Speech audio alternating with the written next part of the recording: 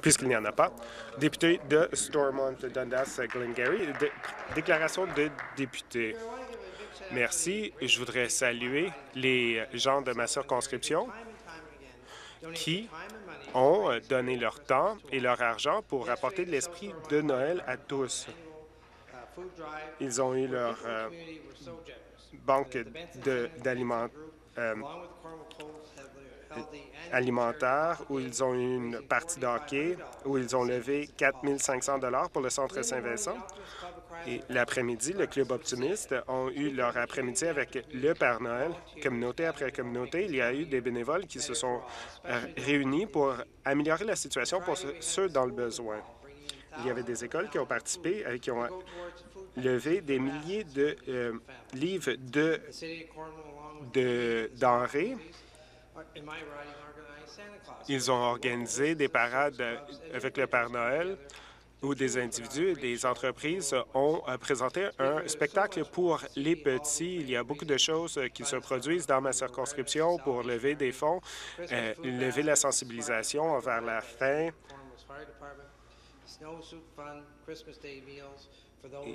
les, repas de Noël pour ceux dans le besoin, qui sont seuls aussi. Et avec grande fierté, je voudrais remercier tous les bénévoles dans ma circonscription de tout ce qu'ils font, la différence qu'ils apportent dans la vie des gens, que ce soit à la période de Noël ou tout au long de l'année. D'autres déclarations des députés. Député de Windsor-Tecumseh. Monsieur le Président, tout ce que je veux pour Noël, et c'est une journée sans chahut. Je voudrais parler ici du décorum, ici dans l'Assemblée législative. Je voudrais remettre en question la tradition de, permettre qu'il y ait une meilleure définition au respect. Mais je voudrais avoir un meilleur exemple de notre démocratie. Personne n'a été élu pour euh, se crier après ici à l'Assemblée. C'est une chose de faire preuve de notre désaccord, mais pourquoi se crier après? Pourquoi est-ce qu'on voit le ministre ou les gens de l'opposition en étant un conspirateur? Pourquoi, pour une seule journée, on ne pourrait pas seulement se démontrer du respect? Pourquoi pas une discussion civilisée, se faire confiance? Pourquoi faire semblant d'être d'écouter des arguments des autres? Pourquoi est-ce qu'on doit toujours mettre à l'épreuve le président? Et ensuite on agit en tant que petits enfants d'école? Pour une seule fois, pour une seule journée, pourquoi est-ce qu'on ne pourrait pas se démontrer du respect? Ensuite, de poser des questions et d'avoir des réponses aux, à nos questions. Ce serait inscrit noir sur blanc dans les pages du Hansard.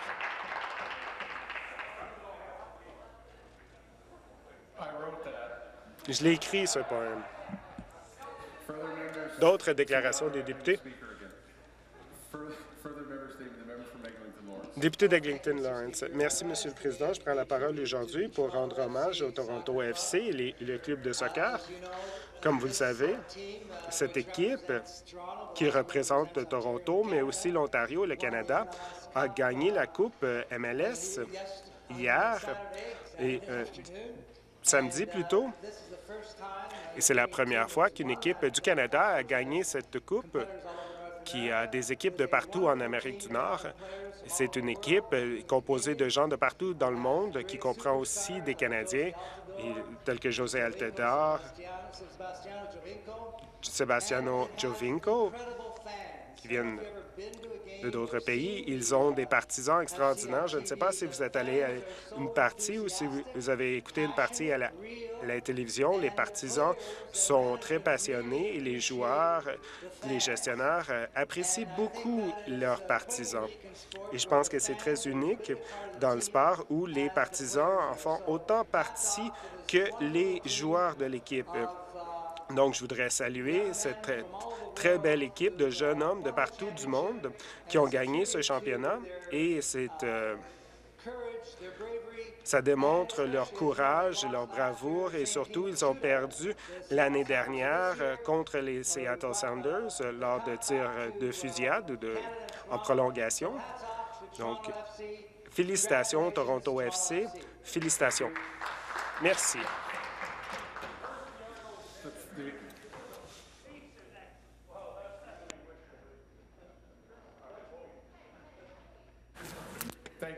Merci.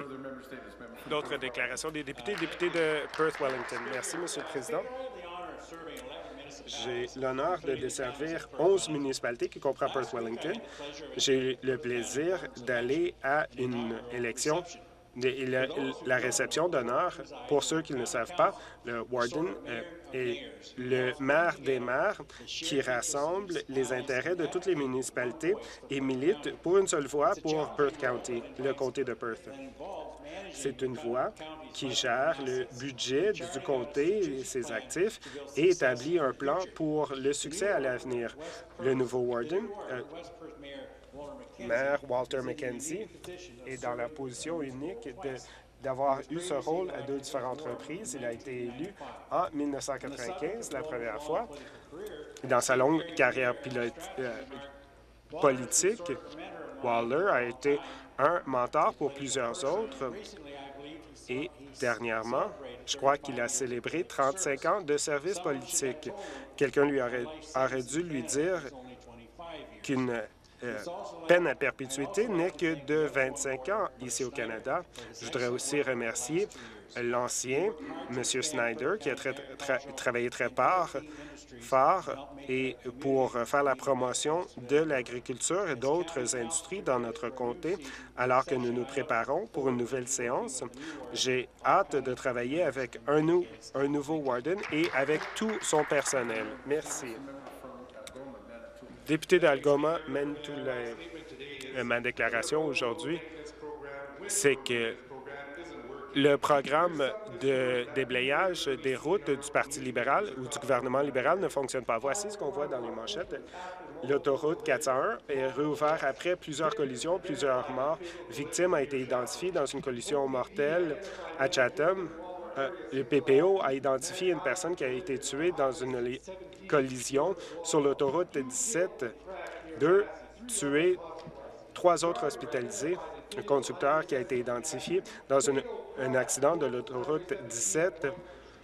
Une autre mort à Whitefish. Le PPO est, enquête sur un incident à White Lake plusieurs véhicules et une collision sur l'autoroute 17, une, collision de trois véhicules au nord de Sault-Sainte-Marie et un autre au nord de la 17, l'autoroute 17. Ça ne fonctionne tout simplement. Quand est-ce qu'ils vont changer le, le système de gestion des autoroutes? Un des camionneurs m'a montré un incident qui a eu lieu dans le nord de l'Ontario. C'est inacceptable que les gens soient placés dans ces circonstances. Mon ami et mon collègue de Témiscamingue, Cochrane, ils ont eu un mort dans sa circonscription il y a quelques semaines à Humbercliff. Les députés de Nicobelt, ils ont aussi eu un décès dans sa circonscription. L'autoroute 17, 401, 29, 101, ils ont tous des préoccupations en ce qui concerne le déblayage. Il y a une autre mort encore hier. Ça suffit. Euh, député d'Etobicoke-Nord, je suis ravi de prendre la parole au niveau de plusieurs investissements qui ont lieu dans le Etobicoke-Nord et certains sont mentionnés dans mon calendrier que je n'utilise pas ici à les fins de mes discours, mais qui seront distribués dans ma circonscription. On parle ici de le prolongement du train léger de Finch, qui a huit gares dans ma circonscription de Humber College, Albion, Stevenson, Kipling, et ça comprend aussi euh, un prolongement d'infrastructures de euh, l'hôpital de Tobico, William Osler. Il y a un prolongement de 100 millions de dollars. Ça va quadrupler l'espace dans cet hôpital. Il y a d'autres initiatives qui comprennent la gratuité scolaire pour ceux qui ont moins de 50 000 par année pour les programmes universitaires et de collège. et c'est particulièrement bienvenu à Humber College. Il y a plusieurs développements. Comme vous le savez, le 1er janvier 2018, le salaire minimum sera de 14 de l'heure et en tant que médecin, je veux partager l'assurance médicaments qui sera disponible pour ceux de moins de 25 ans. Le 1er janvier 2018, 4 400 médicaments seront gratuits. Le député a mentionné qu'il a lu de son calendrier qu'il ne devait pas le faire, mais le député de Kitchener-Conestoga, le service de, euh, de qualité mondiale au Centre de recherche cardiaque et qui a une meilleure cote que celle nationale sur tous les indicateurs clés. Le bilan de l'hôpital pour des euh, pontages cardiaques. En tant que chef des services cardiaques, Brian McNamara a indiqué que la reconnaissance nationale est un effort d'équipe et, tout le monde mérite d'être félicité. À St. Mary's, le centre cardiaque a eu 5 400 procédures, et interventions et plus de 10 000 visite à la clinique, le médecin McNamara, avec son triage, tout au long de la, procédure, il fournissent de très bons soins, de très grande qualité et euh, tout le monde mérite d'être félicité, mais on peut toujours améliorer ce que nous faisons avec le personnel. Il y a la fondation de l'hôpital. Mary's et je voudrais remercier toute la collectivité et tous les gens qui donnent de l'argent à ce centre. Je voudrais aussi encourager tous ceux qui reconnaissent euh, et qui contribuent. Des fonds levés, c'est des vies qu'on peut euh, sauver. Député d'Ottawa-Sud. Merci, Monsieur le Président. Demain soir, des gens partout en Ontario et d'Ottawa-Sud vont euh, allumer la première chandelle de Hanukkah. Rabbi Sher et Boka, Hamid Zadas, toutes les familles qui sont dans cette congrégation et toutes les familles partout en Ottawa et euh, en Ontario qui vont célébrer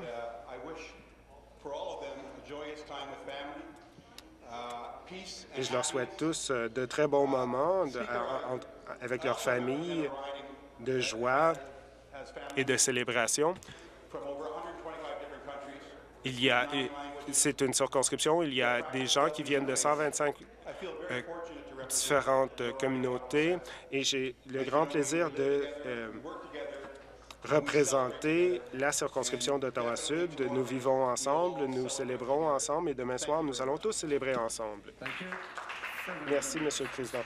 D'autres déclarations des députés? Député de Pearson-Muskoka.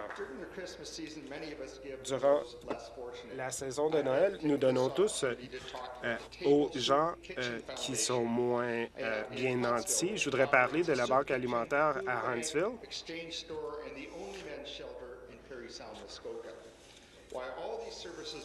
Alors que tous ces services sont très importants, je voudrais me concentrer sur le refuge qui a ouvert il y a un an, ce mois-ci, mais son avenir est déjà euh, compromis.